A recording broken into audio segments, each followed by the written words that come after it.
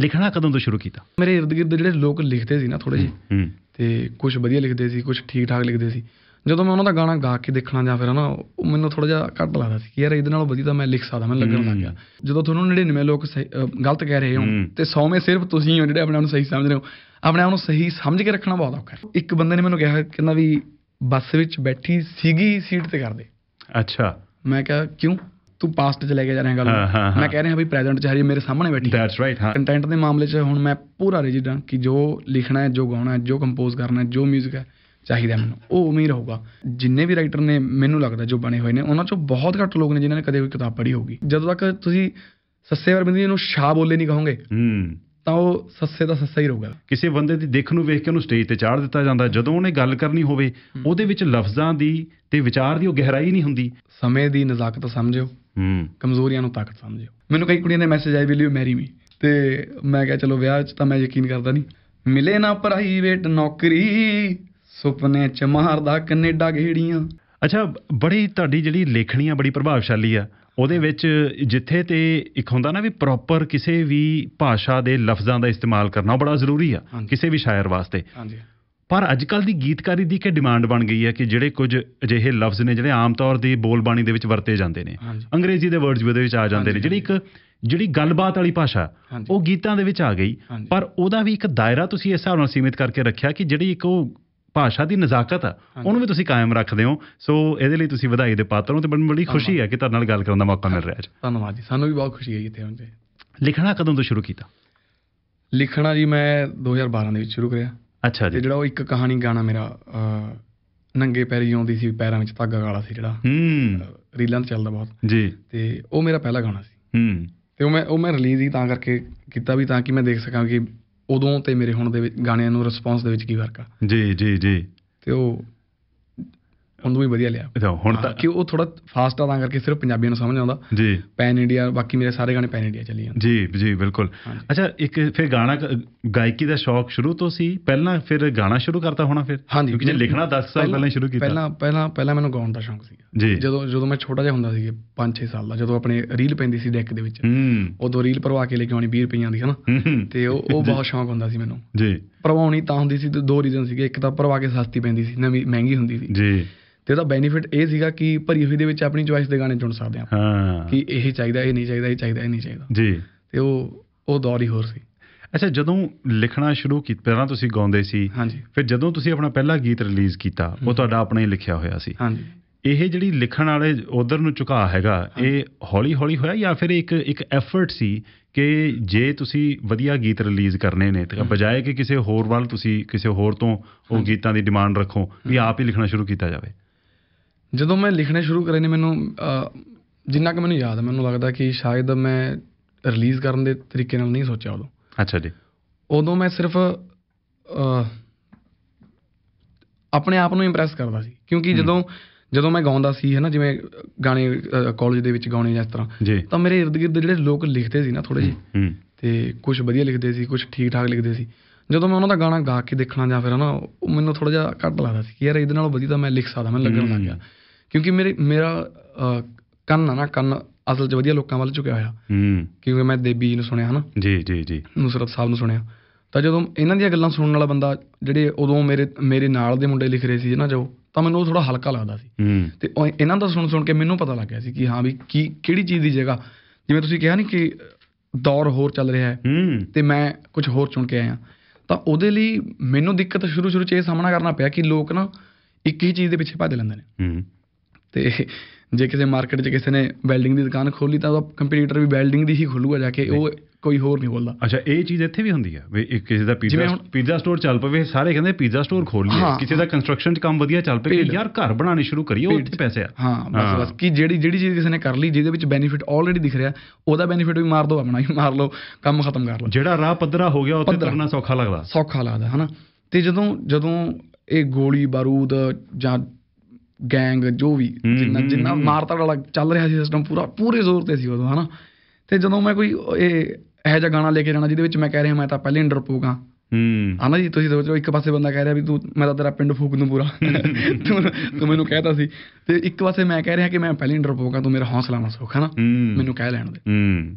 ਤਾਂ ਰਿਕਾਰਡਿਸਟ 뮤직 ਡਾਇਰੈਕਟਰ ਯਾਰ ਦੋਸਤ ਸਾਰੇ ਇਰਦ ਗਿਰਦ ਦੇ ਉਹਨਾਂ ਨੂੰ ਇਹ ਸੀ ਯਾਰ ਤੂੰ ਗਲਤ ਚੱਲ ਰਿਹਾ। ਹੂੰ। ਤੇ ਉਦੋਂ ਜਦੋਂ ਜਦੋਂ ਤੁਹਾਨੂੰ 99 ਲੋਕ ਗਲਤ ਕਹਿ ਰਹੇ ਹੋ। ਤੇ 100ਵੇਂ ਸਿਰਫ ਤੁਸੀਂ ਹੋ ਜਿਹੜੇ ਆਪਣੇ ਆਪ ਨੂੰ ਸਹੀ ਸਮਝ ਰਹੇ ਹੋ। ਆਪਣੇ ਆਪ ਨੂੰ ਸਹੀ ਸਮਝ ਕੇ ਰੱਖਣਾ ਬਹੁਤ ਔਖਾ ਹੈ। ਫਿਰ ਉਹ ਡਾਊਟ ਜਿਹੜਾ ਮਨ ਦੇ ਵਿੱਚ ਜ਼ਰੂਰ ਆਇਆ ਹੋਵੇਗਾ ਬਹੁਤ ਵਾਰ ਹੈ ਉਹਨੂੰ ਕਿਵੇਂ ਓਵਰਕਮ ਕੀਤਾ ਫਿਰ ਕਾਕਾ ਜੀ? ਤੇ ਉਹੀ ਵਧੀਆ ਵਧੀਆ ਰਾਈਟਰਾਂ ਨੂੰ ਸੁਣ ਕੇ। ਹੂੰ। ਫਿਰ ਫਿਰ ਮੈਨੂੰ ਪਤਾ ਲੱਗਦਾ ਸੀ ਯਾਰ ਵੀ ਨਹੀਂ ਮੈਂ ਮੈਂ ਚਾਹੇ ਘੱਟ ਚੱਲਾਂ ਵੱਧ ਚੱਲਾਂ ਨਾ ਚੱਲਾਂ ਚਾਹੇ ਮੈਂ ਚੀਜ਼ ਹੋਰ ਹਾਂ ਬਸ। ਹੂੰ। ਇਹ ਇਹ ਸੋਚ ਕੇ ਰੱਖਿਆ ਤੇ ਹੁਣ ਵੀ ਉਹੀ ਸੋਚਦਾ। ਜਿਹੜਾ ਉਹ ਆਤਮ ਵਿਸ਼ਵਾਸ ਹੈ ਉਹ ਮੇਨਟੇਨ ਕਰਨਾ ਕਈ ਵਾਰੀ ਬੜਾ ਦੁਨੀਆ ਪਰਖਦੀ ਹੈ ਉਸ। ਆਤਮ ਵਿਸ਼ਵਾਸ ਨੂੰ। ਜਿਵੇਂ ਤੁਸੀਂ ਉਹ ਗੱਲ ਕੀਤੀ ਨਾ ਕਿ ਦੇਖੋ ਜਿਹੜਾ ਇੱਕ ਪ੍ਰੋਡਕਟ ਵਿਕ ਰਿਹਾ ਕਿਉਂਕਿ industry at the end of the day commercial ਆ। ਹਾਂਜੀ ਕਮਰਸ਼ੀਅਲ ਤੇ ਜਿਹਨੇ ਕਿਸੇ ਨੇ ਵੀ ਤੁਹਾਨੂੰ ਅੱਗੇ ਲੈ ਕੇ ਆਉਣਾ ਉਹਨੂੰ ਵੀ ਹੁੰਦਾ ਵੀ ਭਾਈ ਪੈਸੇ ਕਿੱਥੋਂ ਬਣਨੇ ਨੇ। ਪਰ ਉਸ ਸਮੇਂ ਦੇ ਵਿੱਚ ਫਿਰ ਉਹ ਕਿਹੜੇ ਲੋਕ ਸੀ ਜਿਨ੍ਹਾਂ ਨੇ ਬਾਹ ਫੜੀ ਜਿਨ੍ਹਾਂ ਨੇ ਤੁਹਾਨੂੰ ਇਸ ਗੱਲ ਦਾ ਯਕੀਨ ਦਿਵਾਇਆ? ਫੈਮਿਲੀ ਦੇ ਵਿੱਚ ਉਹ ਸਪੋਰਟ ਸੀ ਜਾਂ ਫਿਰ ਉਹ ਫਰੈਂਡ ਸਰਕਲ ਦੇ ਵਿੱਚ ਉਹ ਸਮਰਥਨ ਮਿਲਦਾ ਰਿਹਾ? ਜਾਂ ਫਿਰ ਇਹੀ ਹੈ ਕਿ ਆਪਣੀ ਹਲੀਮੀ ਦੇ ਨਾਲ ਪਰ ਆਪਣੇ ਦਮ ਤੇ ਅੱਗੇ ਤੁਰਦੇ ਰਹੇ ਵੀ ਕੋਈ ਨਹੀਂ ਦੇਖੀ ਜਾਊਗੀ। ਨਹੀਂ ਇਹ ਇਕੱਲੇ ਬੰਦੇ ਦਾ ਦਮ ਵੀ ਨਹੀਂ ਹੁੰਦਾ ਜੀ। ਮੇਰੇ- ਨਾਲ ਇਰਦ ਗਿਰਦ ਮੇਰੇ ਬਹੁਤ ਸਾਰੇ ਲੋਕ ਵਧੀਆ ਵੀ ਸੀਗੇ। ਜਿਨ੍ਹਾਂ ਜਿਨ੍ਹਾਂ ਨੂੰ ਸੁਣਨਾ ਆਉਂਦਾ ਸੀ ਨਾ। ਹੂੰ। ਕੁਝ ਯਾਰ ਦੋਸਤ ਕੋਈ ਪਰ- 뮤직 ਲਾਈਨ ਦੇ ਵਿੱਚ ਕੋਈ ਇਹੋ ਜਿਹਾ ਬੰਦਾ ਨਹੀਂ ਮਿਲਿਆ ਜਿਹਨੇ ਮੈਨੂੰ ਕਹਿਤਾ ਹੋਵੇ ਕਿ ਤੂੰ ਸਹੀ ਜਾ ਰਿਹਾ। ਮੈਨੂੰ ਜਦੋਂ ਮੈਂ ਰਿਕਾਰਡ ਕਰਨ ਜਾਣਾ ਗਾਣਾ ਹਨਾ ਤਾਂ ਮੈਨੂੰ ਰਿਕਾਰਡਿਸਟ ਜਿਹੜਾ ਜਿਹੜਾ ਬੰਦਾ 10 10 15 ਸਾਲ ਤੋਂ ਸਿਰਫ ਰਿਕਾਰਡ ਹੀ ਕਰ ਰਿਹਾ ਗਾ। ਹੂੰ। ਉਹ ਵੀ ਜਦੋਂ ਅਚਾਨਕ ਕੁਝ ਸੁਣਦਾ ਸੀ ਵੀ ਇਹ ਕੀ ਕਹਿ ਰਿਹਾ ਯਾਰ ਮੈਂ ਹੋਰ ਜਿੰਨੇ ਵੀ ਰਿਕਾਰਡ ਕਰਨ ਆਉਂਦੇ ਨੇ ਲੋਕ ਉਹ ਕੁਝ ਹੋਰ ਕਹਿੰਦੇ ਨੇ ਤਾਂ ਉਹ ਵੀ ਕਹਿੰਦਾ ਸੀ ਯਾਰ ਤੂੰ ਆਹ ਲਾਈਨ ਨੂੰ ਐ ਚੇਂਜ ਕਰ ਦੇ। ਹੂੰ। ਇਹਦੇ ਵਿੱਚੋਂ ਆਹ ਲਫ਼ਜ਼ ਚੇਂਜ ਕਰ ਦੇ। ਤੇ ਮੈਂ ਮੈਂ ਲਿਖਣ ਦੇ ਮਾਮਲੇ 'ਚ ਇੰਨਾ ਜ਼ਿੱਦੀ ਆ ਨਾ ਹੂੰ। ਕਿ ਜੇ ਤੁਸੀਂ ਮੈਨੂੰ ਕਹੋ ਵੀ ਆਹ ਮੁੱਦਾ ਦੇਣਾ ਤੈਨੂੰ ਮੈਂ ਲਿਖ ਦੇ ਮੈਂ ਤੁਹਾਨੂੰ ਨਹੀਂ ਲਿਖਦਾ ਲਿਖ ਸਕਦਾ ਮੈਂ ਨਹੀਂ ਲਿਖਦਾ। ਹੂੰ। ਤੇ ਉਦੋਂ ਇੱਕ ਬੰਦੇ ਨੇ ਮੈਨੂੰ ਕਿਹਾ ਕਹਿੰਦਾ ਵੀ ਬੱਸ ਵਿੱਚ ਬੈਠੀ ਸੀਗੀ ਸੀਟ ਤੇ ਕਰ ਦੇ। ਅੱਛਾ। ਮੈਂ ਕਿਹਾ ਕਿਉਂ? ਹਾਂ। ਜਿਹੜਾ ਬੱਸ ਵਿੱਚ ਬੈਠੀ ਸੱਜੀ ਤੀਜੀ ਸੀਟ ਤੇ ਹੈ। ਹਾਂਜੀ। ਇਹਦੇ ਵਿੱਚ ਜਿਹੜੀ ਇੱਕ ਨੋਵਲਿਸਟ ਦੀ ਇੱਕ ਕਹਾਣੀਕਾਰ ਦੀ ਜਿਹੜੀ ਡਿਟੇਲ ਹੈ ਨਾ ਹਾਂਜੀ। ਉਹ ਬਹੁਤ ਜ਼ਿਆਦਾ ਹੈ। ਹਾਂ ਹਾਂ? ਹਾਂ। ਜੀ ਜੀ ਜੀ। ਰਾਈਟ ਥਰਡ ਸੀਟ ਤੇ ਹੈ। ਵੀ ਤੂੰ ਮੈਨੂੰ ਸਿਰਫ ਇੰਨੀ ਡਿਟੇਲ ਘਟਾਉਣ ਨੂੰ ਕਿਉਂ ਕਹਿ ਰਿਹਾ? ਹਾਂ। ਕਿ ਬੈਠੀ ਸੀਗੀ ਸੀਟ ਤੇ। ਹਾਂ। ਤੂੰ ਪਾਸਟ ਚ ਲੈ ਕੇ ਜਾ ਰਿਹਾ ਗੱਲ।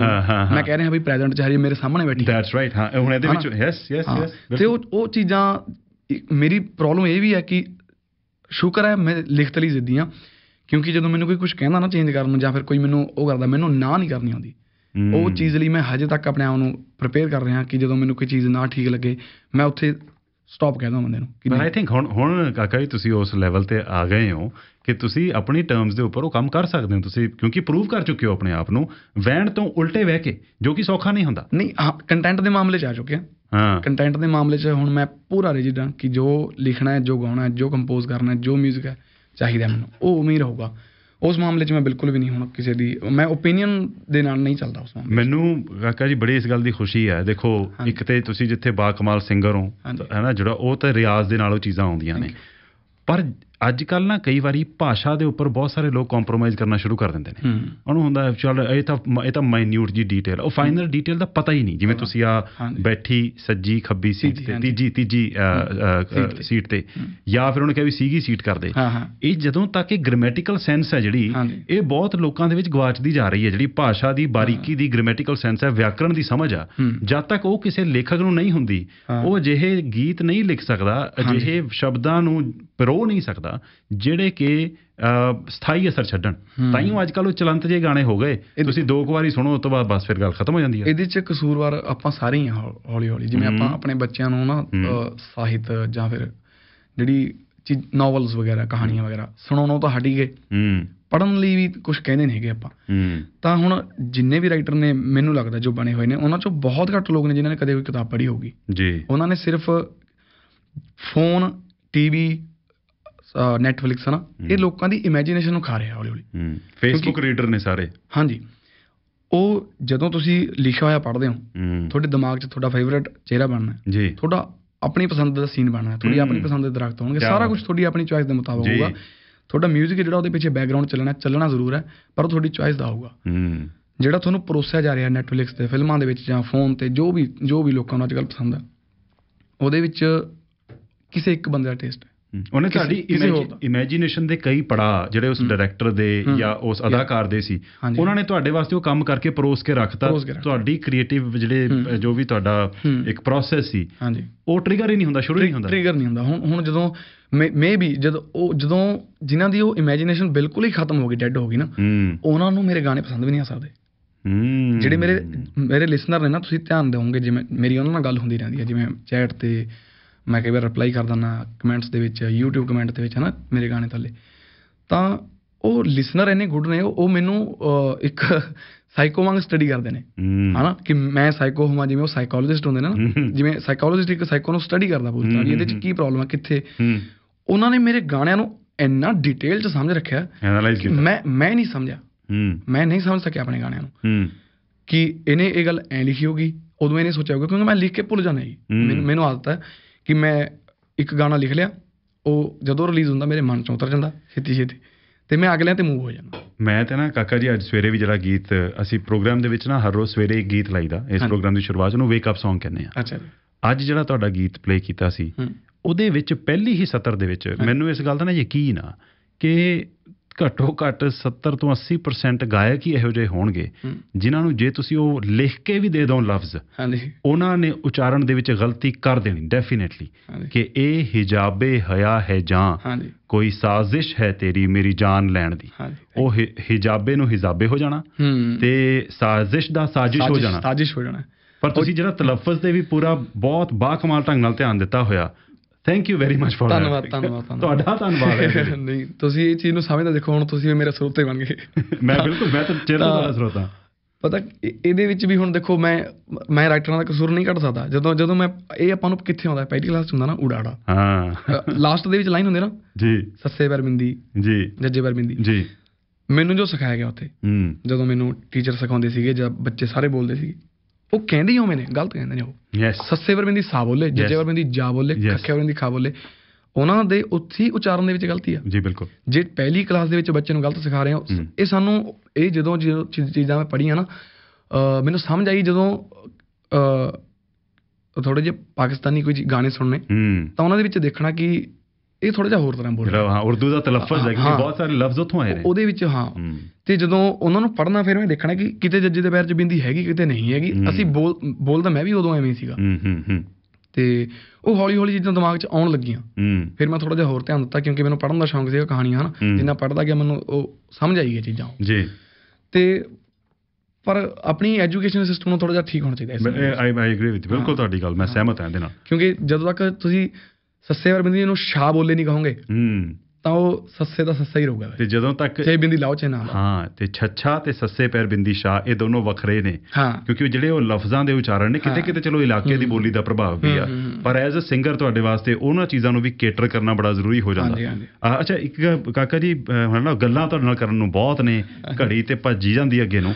ਮੈਨੂੰ ਇਹ ਵੀ ਜ਼ਰੂਰ ਦੱਸਿਓ ਇੱਕ ਗੱਲ। ਕਿਉਂਕਿ ਮੈਨੂੰ ਯਕੀਨ ਹੈ ਕਿ ਤੁਹਾਡੀ ਸਟੋਰੀ ਬਹੁਤ ਸਾਰੇ ਲੋਕਾਂ ਵਾਸਤੇ ਇੱਕ ਇਨਸਪੀਰੇਸ਼ਨ ਦਾ ਪ੍ਰੇਰਣਾ ਦਾ ਸਰੋਤ ਇੱਕ ਹੋ ਸਕਦੀ ਆ ਕਿ ਇੱਕ ਨਾ ਸਾਡੀ ਇੰਡਸਟਰੀ ਦੇ ਵਿੱਚ ਖਾਸ ਤੌਰ ਤੇ ਜਿਹੜਾ ਸਿੰਗਿੰਗ ਵਰਲਡ ਆ ਐਕਟਿੰਗ ਦੀ ਦੁਨੀਆ ਇਹ ਗਲੈਮਰਾਈਜ਼ਡ ਬੜੀ ਹੈਗੀ ਆ।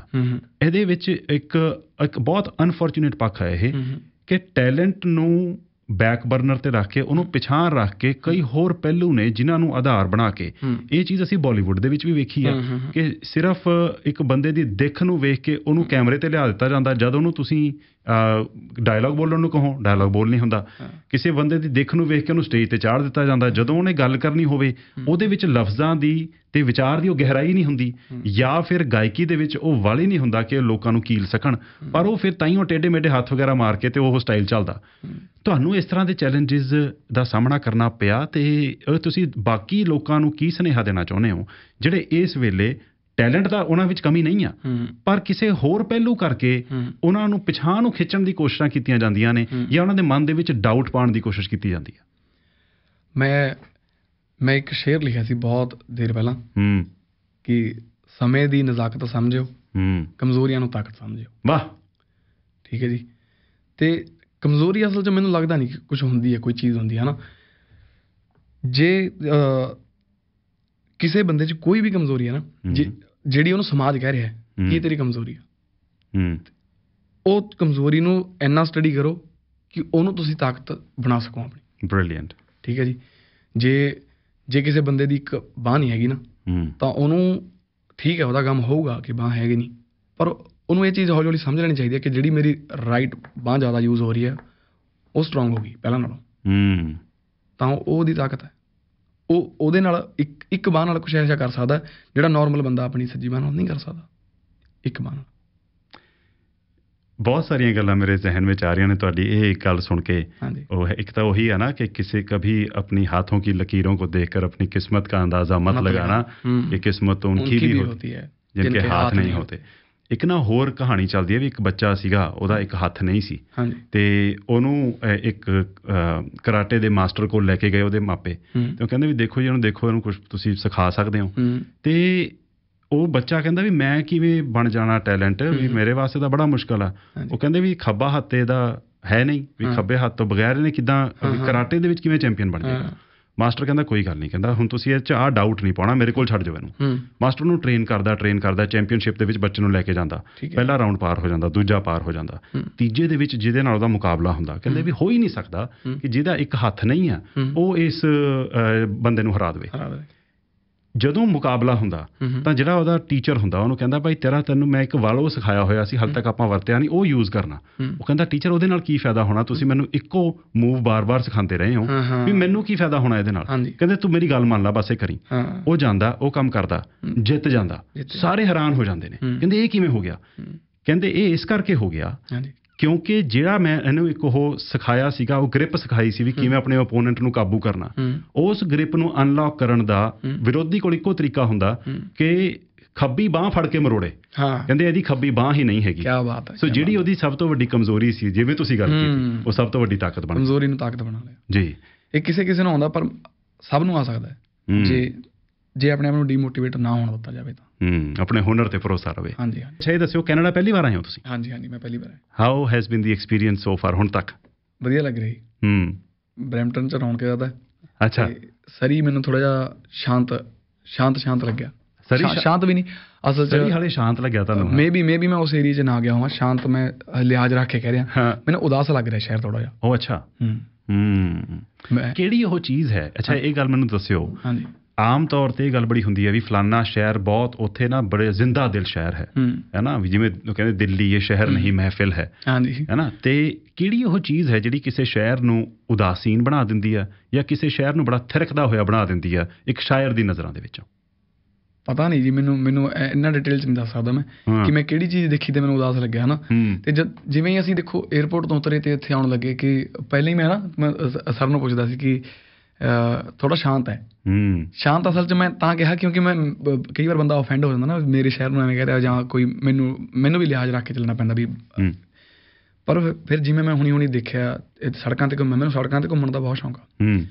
ਤੇ ਗੱਡੀ ਨਹੀਂ ਚੱਕਦਾ ਹੁੰਦਾ ਮੈਂ ਮੈਂ। ਨਾਲ ਇੱਕ ਇੱਕ ਜਾਂ ਦੋ ਦੋਸਤ ਲੈ ਕੇ ਵਾਕ ਕਰਦਾ। ਹੂੰ। ਬਰੈਂਪਟਨ 'ਚ ਘੁੰਮਿਆ। ਹੂੰ।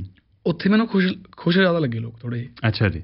ਇੱਥੇ ਇੱਥੇ ਜਿਵੇਂ ਕੋਈ ਮਜਬੂਰੀ ਹੋਵੇ ਨਾ ਜਿੰਨੇ ਕ ਮੈਨੂੰ ਮਿਲੇ ਮੈਂ ਵੀ ਸ਼ਾਇਦ ਮੈਂ ਉਹਨਾਂ ਨੂੰ ਹੀ ਮਿਲ ਗਿਆ ਹੋਵਾਂ ਕੋਈ ਇਤਫਾਕ ਇਹੋ ਜਿਹਾ ਬਣ ਗਿਆ। ਹੂੰ, ਹੂੰ, ਤੇ ਪਰ ਜਿੰਨੇ ਕ ਮੈਨੂੰ ਮਿਲੇ ਮੈਨੂੰ ਫਸੇ ਫਸੇ ਜਿਹੇ ਲੱਗੇ ਲੋਕ ਥੋੜੇ ਜਿਹੇ। ਅੱਛਾ ਜੀ। ਹਾਂਜੀ। ਹਾਂ।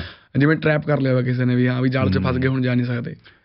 ਕਈ ਵਾਰ ਨੇ ਜਿਹੜੇ ਸ਼ੁਰੂਆਤੀ ਵਰੇ ਹੁੰਦੇ ਨੇ ਹਾਂਜੀ ਉਹ ਬਹੁਤ ਜ਼ਿਆਦਾ ਦੁਸ਼ਵਾਰੀਆਂ ਭਰੇ ਹੁੰਦੇ ਨੇ ਹਾਂਜੀ ਹਾਂਜੀ ਤੇ ਹੋ ਸਕਦਾ ਹੈ ਕਿ ਪਰ ਇਹੀ ਗੱਲ ਨਹੀਂ ਮੈਨੂੰ ਲੱਗਦਾ ਕਿ ਜਿਹੜੀ ਉਹ ਜ਼ਿੰਦਾ ਦਿਲੀ ਆ ਨਾ ਸ਼ਹਿਰ ਦੀ ਤੁਹਾਨੂੰ 11 ਤਰੀਕ ਨੂੰ ਵੇਖਣ ਨੂੰ ਮਿਲੇਗੀ ਜਦ ਮੈਂ ਤੁਹਾਡੇ ਮੈਂ ਉਮੀਦ ਕਰਦਾ। ਕਿ ਕਿ ਮੇਰਾ ਸ਼ਹਿਰ ਮੇਰਾ ਸ਼ੋਅ ਸੁਨਸਾਨ ਨਾ ਹੋਵੇ ਨਹੀਂ ਨਹੀਂ ਉੱਥੇ ਮੈਨੂੰ ਇਸ ਗੱਲ ਦਾ ਯਕੀਨ ਹੈ ਵੱਡੀ ਗਿਣਤੀ ਦੇ ਵਿੱਚ। ਤੁਹਾਡੇ ਪ੍ਰਸ਼ੰਸਕ ਉੱਥੇ ਪਹੁੰਚਣਗੇ। ਵਧੀਆ ਪੰਜਾਬੀ ਗਾਇਕੀ ਨੂੰ। ਪਸੰਦ ਕਰਨ ਵਾਲੇ ਵਧੀਆ ਲੇਖਣੀ ਨੂੰ ਪਸੰਦ ਕਰਨ ਵਾਲੇ।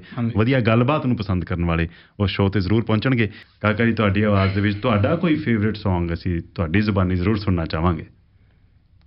ਮੇਰਾ ਫੇਵਰਿਟ Song ਅਸਲ 'ਚ ਉਹ ਹੁਣ ਗਾਉਣਾ ਨਹੀਂ ਚਾਹੀਦਾ। ਅੱਛਾ। ਤੇ ਮੈਨੂੰ ਪਸੰਦ ਮੈਨੂੰ। ਹਾਂ ਮੈਨੂੰ ਮੈਨੂੰ ਪਸੰਦ ਉਹ ਨੇ ਇਹ ਮੇਰੇ ਦੋ ਗਾਣੇ ਜ਼ਿਆਦਾ ਪਸੰਦ ਨੇ ਇੱਕ ਸੱਚ ਚਾਹੀਦਾ ਉਹ ਉਹ ਥੋੜਾ ਜਿਹਾ ਇੱਕ ਡਿਪਰੈਸਿਵ ਬੰਦੇ ਨੇ ਲਿਖਿਆ ਹੋਇਆ ਜਦੋਂ ਡਿਪਰੈਸ਼ਨ ਦਾ ਡਿਪਰੈਸ਼ਨ ਜਦੋਂ ਮੈਨੂੰ ਮਿਲੇ ਤਾਂ ਮੈਂ ਉਹਨੂੰ ਨਿਚੋੜ ਲੈਣਾ ਕਮਰਸ਼ੀਅਲੀ। ਉਹਦੇ 'ਚ ਮੈਨੂੰ ਬਹੁਤ ਕੁਝ ਮਿਲ ਜਾਂਦਾ। ਤੇ ਇੱਕ ਧੂੜ ਪੈਂਦੀ ਹੂੰ। ਤੇ ਧੂੜ ਪੈਂਦੀ ਸੁਣਾ ਸਕਦਾ ਜੀ। ਸੱਚ ਚਾਹੀਦਾ ਤਾਂ ਜ਼ਿਆਦਾ ਸਾਈਡ ਹੋ ਜਾਣਾ। ਓਕੇ ਓਕੇ ਠੀਕ ਹੈ ਜੀ ਹੁਣ ਮੈਨੂੰ ਧੂੜ ਪੈਂਦੀ ਵੀ ਸ਼ੂਟਿੰਗ ਨਹੀਂ ਲੱਗ ਰਿਹਾ। ਅੱਛਾ ਤੁਸੀਂ ਜਿਹੜੀ ਤੁਹਾਡੀ ਓਨੈਸਟੀ ਇਹਦਾ ਇਹਦਾ ਇਹ- ਇਹਦਾ ਤੁਹਾਨੂੰ ਨੁਕਸਾਨ ਵੀ ਹੁੰਦਾ? ਕਿਉਂਕਿ ਤੁਸੀਂ ਨਹੀਂ ਹੈਂ? ਨੁਕਸਾਨ ਨਹੀਂ ਹੁੰਦਾ। ਨੁਕਸਾਨ ਨਹੀਂ ਹੁੰਦਾ। ਇਹਦਾ ਮੈਨੂੰ ਸ਼ੁਰੂ ਸ਼ੁਰੂ 'ਚ ਇੰਟਰਵਿਊਜ਼ ਦੇਣ ਤੋਂ ਡਰ ਲੱਗਦਾ ਸੀ। ਮੈਨੂੰ ਮੈਨੂੰ ਡਾਊਟ ਸੀ ਕਿ ਲੋਕਾਂ ਨੂੰ ਗਾਣੇ ਪਸੰਦ ਆਉਣਗੇ ਪਰ ਮੇਰੀਆਂ ਗੱਲਾਂ ਸ਼ਾਇਦ ਚੁੱਭ ਸਕਦੀਆਂ ਨੇ। ਪਰ ਉਹ ਜਿਵੇਂ ਇੱਕ ਦੋ ਇੰਟਰਵਿਊ ਕਰਕੇ ਦੇਖੀ ਤੇ ਉਹ ਲੋਕਾਂ ਨੂੰ ਪਸੰਦ ਆ ਗਿਆ। ਐਕਚੁਅਲੀ ਜਦੋਂ ਇੰਟਰਵਿਊਜ਼ ਤੋਂ ਬਾਅਦ ਮੈਨੂੰ ਬਹੁਤ ਸਾਰੇ ਮੈਸੇਜ ਆਏ। ਐਕਚੁਅਲੀ ਮੈਂ ਤੁਹਾਨੂੰ ਦੱਸਣਾ ਚਾਹੂੰਗਾ ਮੈਨੂੰ ਮੈਨੂੰ ਕਈ ਕੁੜੀਆਂ ਦੇ ਮੈਸੇਜ ਆਏ ਵਿਲ ਯੂ ਮੈਰੀ ਮੀ ਹਾਂ ਹਾਂ, ਉਹ ਇੰਟਰਵਿਊ ਦੇਖ ਕੇ। ਜੀ। ਤੇ ਮੈਂ ਕਿਹਾ ਚਲੋ ਵਿਆਹ 'ਚ ਤਾਂ ਮੈਂ ਯਕੀਨ ਕਰਦਾ ਨਹੀਂ ਅੱਛਾ। ਹਾਂ। ਹੁਣ ਤੁਸੀਂ ਆਹ statement ਆ ਗੱਲ ਨਾ ਕਹੀ ਆ, ਇਹ ਤਾਂ ਹੁਣ ਇਹ ਇਹ ਆਪਣੇ ਆਪ ਦੇ ਵਿੱਚ ਕਾਫੀ ਇਹਦੇ ਅੱਗੇ ਅ- ਅੱਗੇ ਸਵਾਲ ਪੈਦਾ ਹੁੰਦੇ ਨੇ। ਹਾਂ ਪਰ ਸਮਾਂ ਤੇ ਇਹਨੂੰ ਇਹਨੂੰ ਕੀ ਪ੍ਰੈਗਨੈਂਟ ਥਾਟ ਕਹਿੰਦੇ ਨੇ ਨਾ ਆਪਾਂ? ਜੀ, pregnant, ਜੀ, ਅ, ਬਿਲਕੁਲ। ਇਹਦੇ ਇਹਦੇ ਅੰਦਰ ਹੋਰ ਸਵਾਲਾਂ ਨੂੰ ਜਵਾਬ ਜਨਮ ਦੇਣਾ ਨੇ। ਬਿਲਕੁਲ ਸਹੀ ਗੱਲ ਆ। ਅਗਲੀ ਵਾਰ ਲਈ ਸਾਂਭ ਕੇ ਰੱਖ ਅਗਲੀ ਵਾਰ ਲਈ ਸੰਭਾਲ ਲੈਂਦੇ ਆ ਪਰ ਹੁਣ ਕੋਈ ਗੀਤ ਆਪਣੀ ਆਵਾਜ਼ ਦੇ ਵਿੱਚ ਜ਼ਰੂਰ ਸੁਣਾ ਦਿਓ ਜੀ। ਮਿਲੇ ਨਾ ਪ੍ਰਾਈਵੇਟ ਨੌਕਰੀ ਸੁਪਨੇ ਚ ਮਾਰਦਾ ਕੈਨੇਡਾ ਗੇੜੀਆਂ ਕਰੀਆਂ ਸੀ ਮਿਹਨਤਾਂ ਵੀ ਰੱਜ ਕੇ। ਮੋੜਾਂ ਉੱਤੇ ਖੜਨੀ ਰਕਾਨਾ ਛੇੜੀਆਂ। ਬਿਨਾਂ ਹੀ ਟਿਕਟ ਦੇਖ ਆਉਂਦਾ ਏ ਤੇਰਾ ਨੀਓ ਰੈਂਟ ਵਾਲਾ ਬੰਗਲਾ। ਕਾਫੀ ਵਾਲਾ ਕੱਪ ਸੱਜੇ ਹੱਥ 'ਚ ਖੱਬੇ ਥੱਲੇ ਬਾਲਕਨੀ ਜੰਗਲਾ। ਸੀਲਿੰਗ ਤੋਂ ਲਟਕਦੇ ਗਮਲੇ ਦੋਵੇਂ ਪਾਸੇ ਡੇਢ ਫੁੱਟੇ ਥੰਮਲੇ। ਥੰਮਲੇ ਤੇ ਵਾਇਆ ਹੋਇਆ ਦਿਲ ਨਹੀਂ ਦਿਲ 'ਚ ਬਣਾਈਆਂ ਹੋਈਆਂ ਬੇੜੀਆਂ। ਕੀ ਬਾਤ ਮਿਲੇ ਨਾ ਪ੍ਰਾਈਵੇਟ ਨੌਕਰੀ ਸੁਪਨੇ 'ਚ ਮਾਰਦਾ ਕੈਨੇਡਾ। ਸੁਪਨੇ 'ਚ ਕੀ ਹੁਣ ਤੁਹਾਡਾ ਟੈਲੈਂਟ ਤੇ ਤੁਹਾਡੀ ਡੈਡੀਕੇਸ਼ਨ ਤੁਹਾਨੂੰ ਕੈਨੇਡਾ ਲੈ ਆਈ ਹਾਂਜੀ। ਤੇ 11 ਤਾਰੀਖ ਨੂੰ ਤੁਹਾਨੂੰ ਬਹੁਤ ਬਹੁਤ ਸ਼ੁਭੇਛਾਵਾਂ ਸ਼ੋਅ. ਵਾਸਤੇ। ਜਿਹੜਾ ਕਿ Bell performing art centre Surrey ਦੇ ਵਿੱਚ ਹੋਣਾ